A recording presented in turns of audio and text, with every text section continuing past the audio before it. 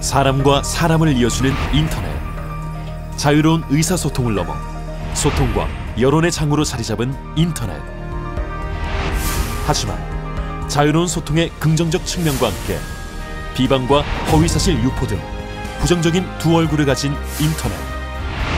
이제 당신의 올바른 선택을 위해 건전한 인터넷 선거 문화가 필요한 시점입니다. 모두가 페어플레이하여 올바른 선거 문화의 정착으로 유권자와 후보자가 함께하는 축제의 장이 되도록 대한민국의 더 밝은 미래를 위해 이클린 선거실천협의회가 국민과 함께 나아가겠습니다. 희망을 클릭하세요. 이클린 선거실천협의회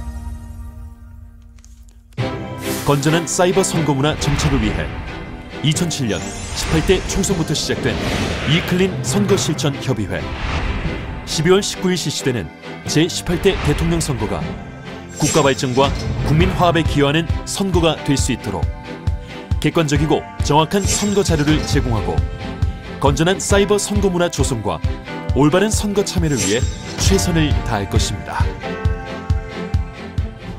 중앙선거관리위원회와 유관단체, 포털사이트 업체 등과 e-clean 선거실천협의회를 구성하여 핫라인 구축을 통해 24시간 상시 운영되며 허위사실 공표나 비방, 흑색 선전 등 선거법 위반 행위에 대한 위법 게시물을 즉시 삭제 조치하는 한편 위법 행위에 공동 대처하기 위해 상호 정보 공유 채널을 가동합니다.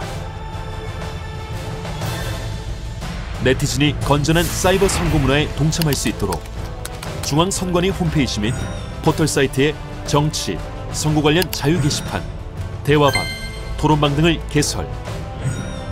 바른 인터넷 참여와 올바른 선거 문화를 위해 네티즌 스스로 자정 활동을 펼치는 e-clean 선거 서포터즈 운영.